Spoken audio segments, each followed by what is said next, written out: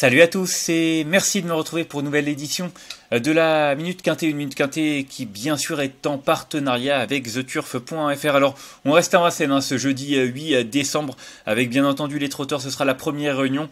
La course d'ouverture, hein, le prix Jean Boileau euh, qui rend hommage à un professionnel qui malheureusement est parti trop tôt. En tout cas nous avons droit à une euh, belle course hein, des euh, chevaudages n'ayant pas gagné 550 000 euros dans cette compétition, 16 concurrents au départ. le parcours de vitesse de la grande piste de Vincennes, 2100 mètres avec l'aide de euh, l'autostart. Une belle épreuve, 90 hein. 000 euros de, dotation.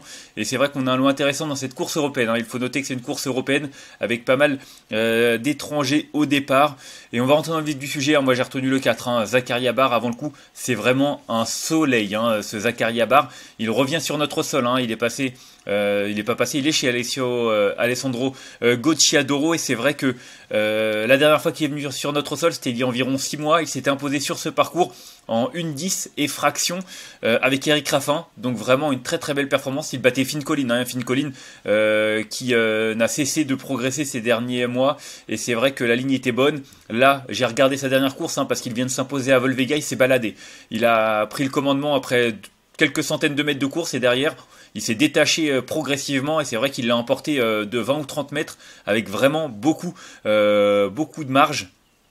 Là, il revient sur notre sol. C'est le plus riche, hein, je crois, à 500, 505 000. Non, c'est l'un des plus riches. Et le deuxième plus riche après le 5 fric du chêne. En tout cas, l'engagement est idéal. Le numéro derrière la voiture, parfait. Mathieu Abrivard, Alessandro Gocciadoro, le tandem de Vivid Wise As, hein, tout simplement. du coup, voilà, ce numéro 4, Zakaria Bar, avant le coup, je pense qu'il va être très très difficile à battre.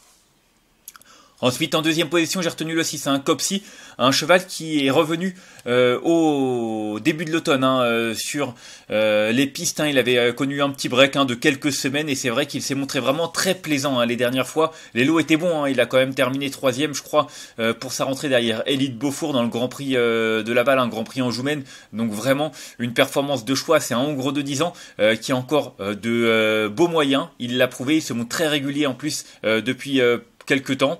Et euh, c'est vrai que l'engagement est favorable hein, pour lui aussi euh, par rapport au lot qu'il a couru. Il a vraiment une belle carte à jouer et ce parcours lui plaît tout particulièrement. Hein. Il a déjà prouvé par le passé euh, qu'il avait beaucoup de vitesse. Numéro très favorable derrière la voiture. Dominique Lockneuse, son entraîneur driver, est très confiant et c'est à juste titre qu'on le retiendra très très haut.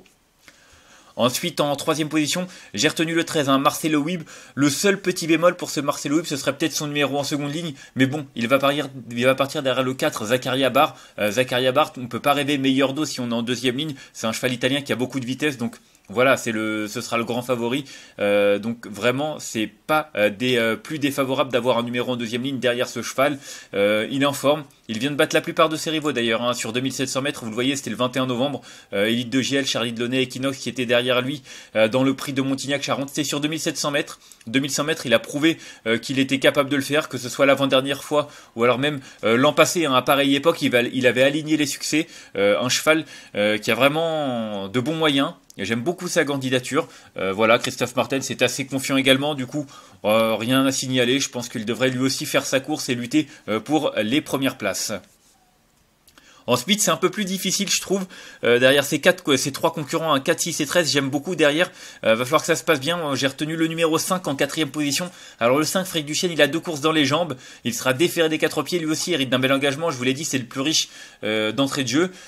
maintenant, est-ce qu'il est suffisamment prêt euh, ça, c'est une autre affaire maintenant. Euh, c'est un cheval qui a également besoin d'un parcours caché. Hein. Il est vraiment meilleur ainsi. Euh, du coup, ça aussi, ça comporte des aléas. Alors, c'est deux petits bémols. Ça veut dire le fait qu'il soit prêt et le fait qu'il ait besoin d'un parcours caché. Ça fait deux choses qui sont pas forcément très favorables. Maintenant, le cheval est dans sa catégorie. Hein. Il a prouvé l'année dernière, à même époque, il terminait, je crois, cinquième de la finale du GNT. Donc, vraiment, il a des performances et des références à faire valoir. C'est un cheval qui a également montré de la vitesse. Voilà, s'il a le bon parcours, avant le coup et qu'il est prêt, je pense qu'il devrait logiquement faire sa course et terminer dans les 4-5 premiers sans aucun souci. Ensuite, en cinquième position, j'ai retenu le 2, hein, Elite de Giel, qui euh, répète pas toujours ses courses elle aussi, elle a besoin d'un parcours caché. Alors euh, ce qui est bien, c'est qu'elle a un bon numéro derrière la voiture, elle a le numéro 2, euh, elle va attendre. Hein. Si elle est bien placée, attention à elle, parce qu'elle a une sacrée pointe de vitesse finale. Maintenant, faut que ça se passe bien. Mais elle est dans sa catégorie, elle est en forme, elle vient de le prouver en terminant quatrième hein, de la course référence derrière Marcelo Wib le 21 novembre. Bref, rien à signaler. de nouveau associé à François Lagadec. si ça se passe bien, je pense qu'elle a son mot à dire pour une belle place. Ensuite, en sixième position, ce sera mon petit outsider, le numéro 11, Equinox. Alors, vous voyez sa musique, c'est pas transcendant euh, les 5-6 dernières fois, mais sa deuxième place euh, que vous voyez ici, c'était sur un parcours de vitesse, c'est un cheval. J'ai regardé ses statistiques euh, sur le parcours qui nous intéresse, un 2100 mètres grande piste. En 10 tentatives, il n'a terminé qu'une seule fois, sixième. sinon, il est toujours dans les 4 premiers, donc vraiment, il a de super statistiques. Il n'a pas besoin d'être déféré pour faire l'arrivée. Il va s'élancer derrière Elite de GL. Faut voir, je ne sais pas si elle va démarrer. En tout cas, le cheval sur cette distance et sur ce parcours, il a vraiment euh, des références à faire valoir. Euh, il a battu des chevaux, il a couru avec des chevaux qui sont à peu près du même acabit. Donc voilà, je pense que si ça se passe bien et qu'il a le bon parcours, je vous l'ai dit, hein, c'est assez ouvert derrière les trois bases que je vous conseille en début de course. Et c'est vrai que lui fait partie des possibilités assez intéressantes en tout cas pour les places. Ensuite, en septième position, j'ai retenu le 9, hein, Dexter euh, Château, un cheval qui a désormais deux courses dans les jambes. C'était pas si mal hein, la dernière fois, il était euh, huitième. Euh, non, c'était pas la course référence, c'était ici, voilà, le prix du Languedoc, le 12 novembre, derrière notamment Copsy. Et euh, c'est vrai qu'il courait bien euh, ce, de, ce Dexter euh, Château. on sent que c'est un cheval qui est sur la montante. Il a déjà bien fait hein, l'hiver dernier sur ce parcours. Maintenant, il a le numéro 9. c'est un petit peu embêtant. Mais bon, c'est un cheval qui aime attendre dans un parcours et qui va certainement prendre son temps. Donc l'un dans l'autre, je me dis c'est pas forcément non plus euh, super défavorable. Mais bon, faudra quand même que ça se passe bien parce que sur 2100 mètres revenir c'est jamais évident. Euh, mais si il est suffisamment prêt et qu'il affiche encore des progrès euh, sur sa plus récente tentative, alors il est capable de rentrer dans la bonne combinaison du quintet. Et enfin en huitième position, je la retiens un petit peu loin, mais c'est parce que c'est le numéro qui m'embête. Hein. C'est le numéro 16 Eliade du Goutier. C'est une des meilleures juments de, sa génération. Euh, elle a montré qu'elle avait de la vitesse. Elle a déjà gagné sur ce parcours en battant Hatchetman hein, notamment. Maintenant, au niveau des chronos, elle est quand même un petit peu euh, en dessous euh, sur ce parcours. Elle a trotté 11-7, je crois que c'est son record 11-7, alors qu'il y en a qui sont capables d'aller moins de 11. Du coup, avec ce numéro 16 derrière la voiture, le fait qu'il faudra peut-être faire des efforts ou trouver les bons dos pour se faire ramener, euh, ça me refroidit un petit peu. Mais bon, en théorie, elle a une belle carte à jouer quand même. Faudra que Gabriel Germini euh, se sorte de ce petit numéro piège. Mais si tel est le cas, elle peut prendre une petite place.